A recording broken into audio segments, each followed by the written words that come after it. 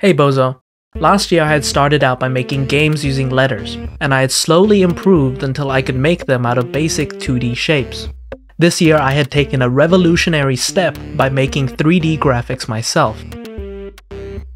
Get it? Revolutionary? Cause it's spinning.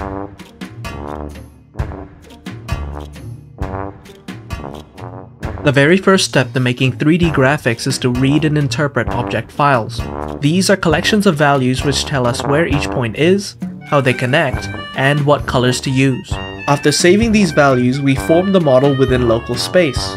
By scaling, rotating, and translating the model, we can convert these local coordinates into coordinates on... Oh... Oh...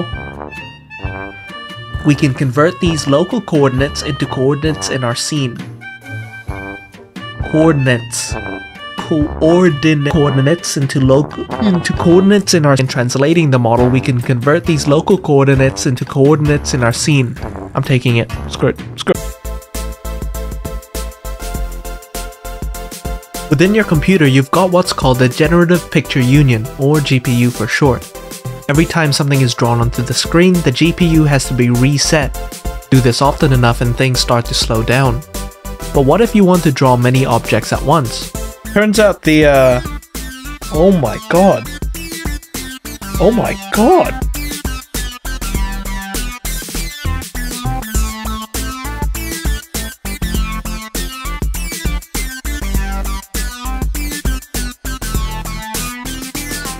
Turns out OpenGL has a workaround for this. Get it? Turns around? It's because it's. Instead of drawing each shape out one at a time, we can save processing power by using a shape like a stamp. This means that there is little difference between drawing one shape and drawing thousands. And that's it. There are a few other things I could talk about, but I'll just answer any questions in the comments. Like, now that you know how to make 3D graphics, when are we gonna see a 3D game?